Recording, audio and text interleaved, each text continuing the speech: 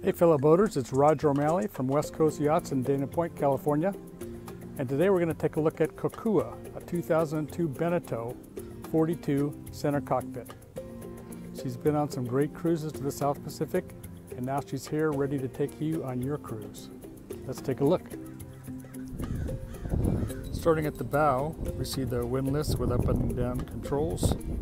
There's also another set of controls at the helm, so that's pretty convenient. Uh, here's the cabin top, teak grab rails, lots of opening ports.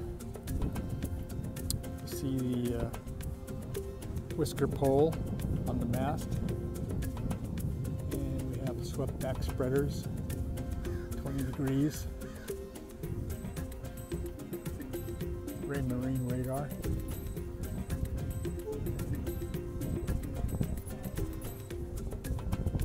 Here we are at the spacious transom.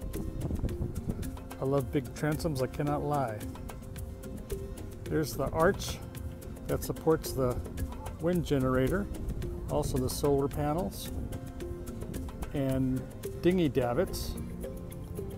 Over there on the port side also have a uh, an engine mount and a hoist. The deck is really large. You can have a live band back here, put out your lawn chairs.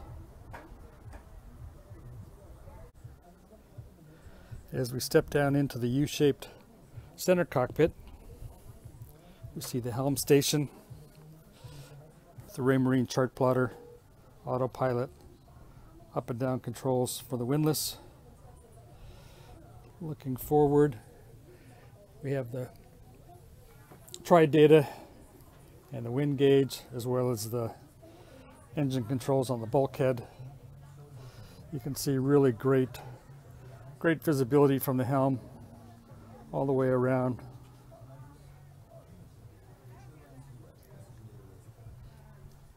The center cockpit gives you a nice smooth ride, keeps you dry.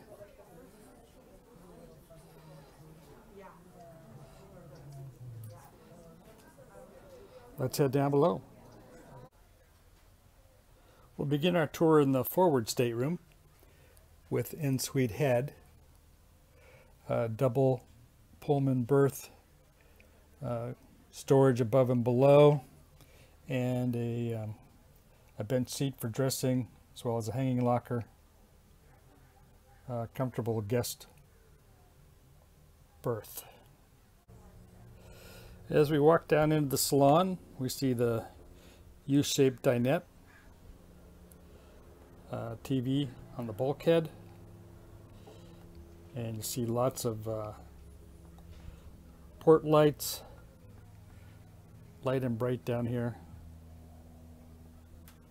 Over on the port side, we have a very uh, functional nav station with second chart plotter the SSB newer Simrad VHF uh, makes for a great office as well.